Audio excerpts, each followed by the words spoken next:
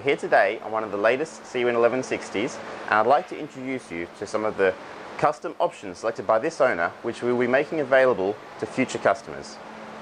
So this owner has taken the Seawind 1160 Lite which most of you will associate with the outboard petrol engines which of course as a standard product the 1160 Lite does have the petrol outboards. However we have now also made diesel inboard engines an option on the 1160 Lite.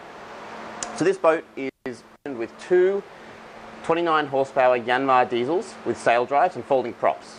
Now this works in a very similar way to the 1160 Deluxe or the Seawind 1260 where we have engines installed in the aft compartment behind the port aft head and under the starboard aft cabin. This now means that these aft compartments into large storage areas on port and starboard and we can also install an ice box and electric cooler under this area. So the diesel engines now have tachometers at the helms with electronic start and stop. We use the same helm controls as the petrol outboard motors.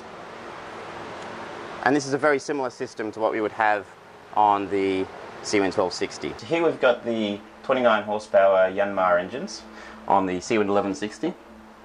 They go in the same position as the Seawind 1260 inside the hull, accessible through the aft cabin. They're not exposed to as much foul weather and harsh environment as they would on an aft step. So you get less salt, less corrosion on the engine, and it's much, much easier to keep clean and to do maintenance on the boat.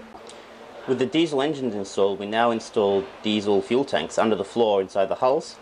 This also enables you to pick up an extra line uh, if a generator is installed. Another great feature we have on this boat is the 12 inch B&G Zeus 3 unit. This is the latest from B&G. It has new technology such as an inbuilt Wi-Fi module which enables you to repeat to your uh, tablet or phone. This is, this was also previously available on the Zeus 2, however you used to have to use a separate Wi-Fi module. This is now built into the Zeus 3. The Zeus 3 at a 12 inch actually offers quite a nice display. You're able to split the screen, still have a good size chart while also displaying other data on the, on the module. And this owner has also gone for a remote autopilot control. This is quite, quite a nice device. It's very small, like a car key. It comes on a lanyard so you can run around your neck when you're operating off the bow. And you've got simple plus, minus controls, standby and autopilot. Very nice feature. All right, thanks guys.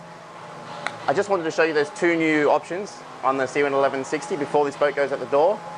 As new options come through on other boats, we'll be doing more and more updates throughout the year, so please stay tuned. Before I go, I want to leave you with one new feature on the Seawind 1160. This is not an option, this is a standard feature on all new 1160s and 1190s, and that is the new storage location for the, the uh, helm windows. So let's, let's just run through the installation of those units. We simply remove the window.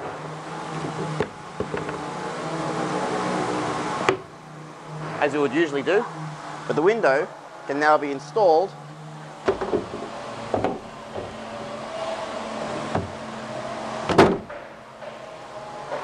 And that's it. Out of sight, out of mind. Thanks everybody.